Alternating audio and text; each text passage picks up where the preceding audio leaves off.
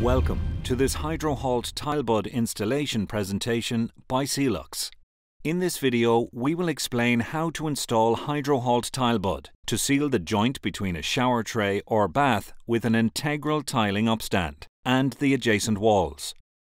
Tiling upstands come in a variety of shapes and sizes.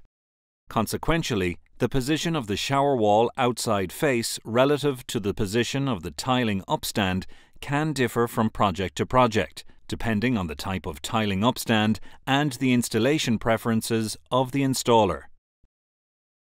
HydroHalt Tilebud is a versatile joint sealing solution that can accommodate all shower trays and baths, regardless of what type of tiling upstand is attached.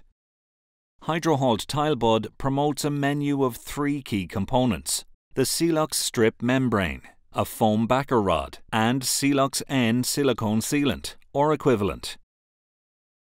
The foam backer rod is not required when sealing perimeter joints around shower trays and baths with tiling upstands attached. The first step in the installation process is to ensure the receptor rests steady on the floor. The waste system has been tested for leaks and the wall substrate is in sound condition. Use alcohol wipes or an approved cleaning agent to clean the upstand and ledge surfaces to which silicone will be applied. Measure and cut the Sealux strip to the required length. Apply masking tape over the ledge 2 mm outside the wall face. Resting a strip offcut on the ledge, mark the walls to define the strip height over the ledge. Draw lines through the wall marks.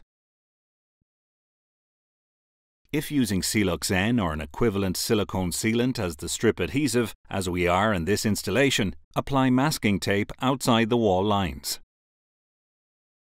Apply Sealux N silicone over the tiling upstand on each side and rub up the exposed silicone face flush with the adjacent overhanging wall. Apply a zigzag line of N silicone between the ledge and wall line on the first wall and a further 200 mm portion of the second wall.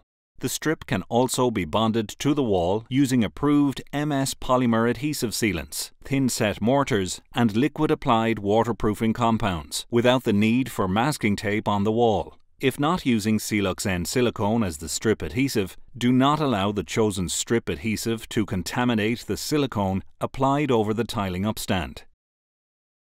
Using the serrated edge of the spatula, spread a thin bed of adhesive between the ledge and the wall line. Clean the spatula with a tissue. With the strip resting on the ledge and its red-tinged portion facing the wall, progressively touch engage the strip with the adhesive bed on the first and second wall. Using the straight edge of the spatula, press bond the strip firmly against each wall, ensuring the strip extends fully into the corner and the red-tinged portion bonds with the silicone face opposite the tiling upstand. Repeat this strip bonding process for each of the remaining walls.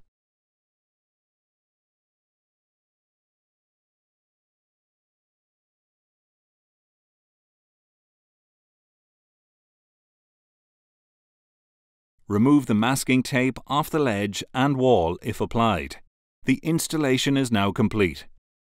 HydroHalt Tilebud is available in short roll installation kits and in longer, more cost-effective trade roll format for high-use on-site and off-site construction projects. We hope this presentation has been of interest and we thank you for your time viewing it. If you have any concerns not addressed in this video, please do not hesitate to contact us.